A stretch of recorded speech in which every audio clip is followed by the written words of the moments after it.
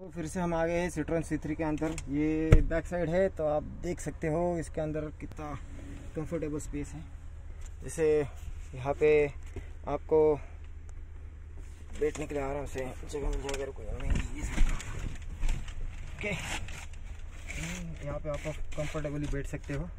और ये seat actually मेरे हिसाब से, मेरे हाइट के हिसाब से फिक्स है।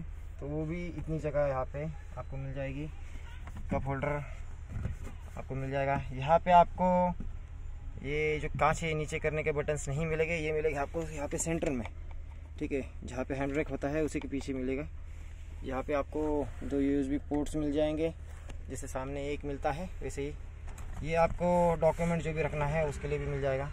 यहाँ पे सीट का एक ही है, जो भी सीट है, ये फिक्स सीट है। आप इसे चाहिए तो कंपनी को कह के जो दूसरे सीट होते हैं जो निकलते हैं ऊपर से, वो भी ले सकते हो। यहाँ पे हैंड होल्डर मिल जाएगा। यहाँ पे पीछे देखिए, ये है आपको जो पर्स स्टोरेज होता है, ठीक है? वो आपको मिल जाएगा। कंफर्टेबल है कंपार्टमेंट आप तीन लोग लॉन्ग ट्रिप के ऊपर एकदम आराम से जा सकते हो और कोई भी प्रॉब्लम नहीं आएगा, ठीक है? बहुत बढ़िया और कुल डिज़ाइन है। फ्रंट देखेंगे यहाँ से। तो आपको इस तरीके से दिखेगा।